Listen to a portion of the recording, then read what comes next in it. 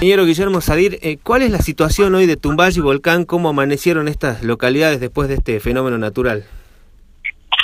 Eh, bueno, eh, fundamentalmente yo creo que hay que definir el, evento este ocurrido porque es necesario que sepamos dónde estamos ubicados en este, en este momento.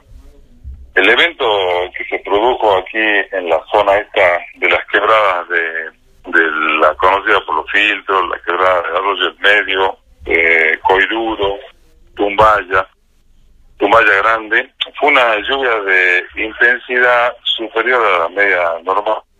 Eh, el registro exacto no lo tenemos, pero es porque no podemos acceder a la zona del registro en este momento, pero durante el día la vamos a recibir y oscila en los 150 milímetros. Eh, y la duración ha sido bastante bastante corta. Lo que produjo el arrastre inevitable de, material y el sedimento este que provocó el luz correspondiente.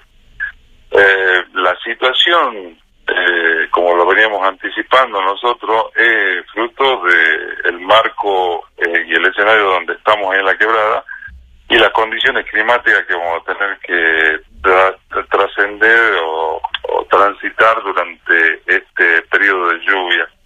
Eh, la alta intensidad, la gran pendiente, provocó por supuesto este derrame. La zona de Bárcena, producto de la crecida eh, del arroyo del medio, que desbordó en la zona del puente, y la, el pueblo de Volcán por la crecida de la quebrada esta de los filtros, donde la precipitación, como le decía, fue superior a la normal.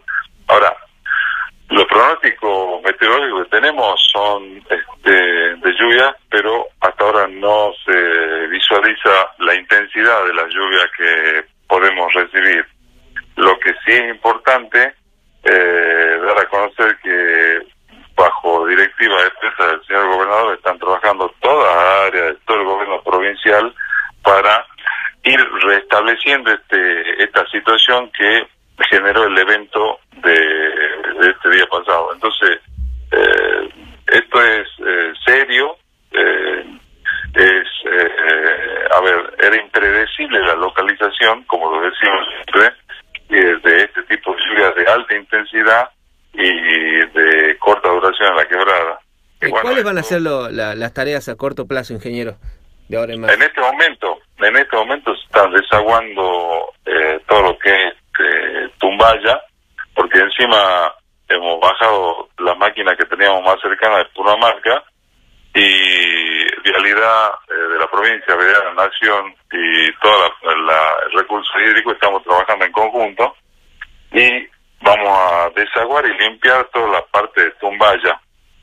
En la parte de Volcán eh, la habilitación del paso es fundamental para poder este, incorporar mucho equipo eh, que pueda producir el mismo efecto de limpieza y obviamente las áreas sociales también trabajando en otro sentido.